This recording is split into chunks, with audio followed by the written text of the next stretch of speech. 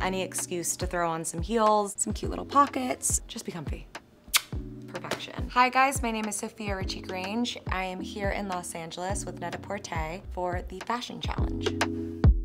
Challenge one, your sister has invited you to a holiday party at her house. What do you wear to feel festive and fabulous? In my family, we love to dress it up. So what comes to my mind is what is something fun and different? All right, we have a rack, so many options and beautiful items. I think I'm gonna go with this dress. It's Saint Laurent, it's velvet, which gives me a holiday vibe. It's chic, it's timeless, but it also has some cute little pockets. I'm gonna go try it on. I will be right back. So here is our final look. I love it. I feel comfortable, I feel chic, classy, but still having fun. I'm also wearing Giuseppe heels. These particular heels are so comfortable. We're eating, we're running around, so just be comfy. All right, we are over here with a beautiful tray of David Yurman. I feel like this necklace is just the perfect match with this outfit. It gives a little bit of pop. I'm also gonna add one bracelet. I think it is timeless and chic. And for me, this is the absolute perfect holiday bag. I feel great in this look. It feels perfect for the holidays, something I can wear with my family, but still feel young and fun. Challenge number two, it's New Year's Eve. What do you wear to welcome 2024 in style?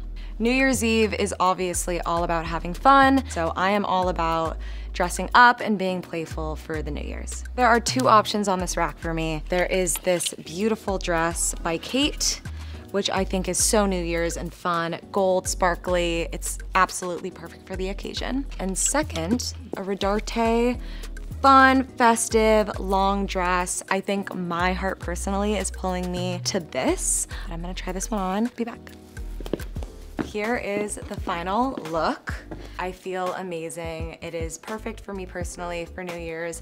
It is fun, it is festive, but it still has a little touch of chic. I'm just going to accessorize this by adding a pinky ring. It's a perfect little pop. And then I think I'm just gonna add these beautiful hoops, which I think keeps it chic, easy, and timeless this precious Bottega bag. I am such a fan of this Bottega bag. I'm gonna tuck the strap away. I love this look. It screams New Year's, have fun, and that's what New Year's is all about. All right, for the final challenge, you're hosting a brunch with a brand and then heading straight for lunch with all the family. Choose an outfit that can work for the whole day. I went through the rack.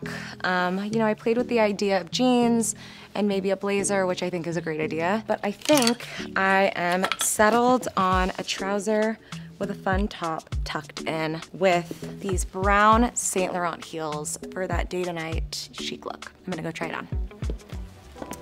All right, so this is the final look. I love it, I feel great. Obviously you can tell I could probably use a tailor, but I think after the tailor, perfection. This adorable The Row bag. I am obsessed with this bag. It is the perfect bag, especially day to night. The strap is perfect, the shape is perfect, and it's just a class act bag. My style generally varies all over the place. It's very day to night, it's very depending on the occasion. For something in the evening, I love to dress up. I love any excuse to throw on some heels. I think this look is just appropriate for business, family, fun. All right, well, that completes the fashion challenge. Thank you guys so much for watching.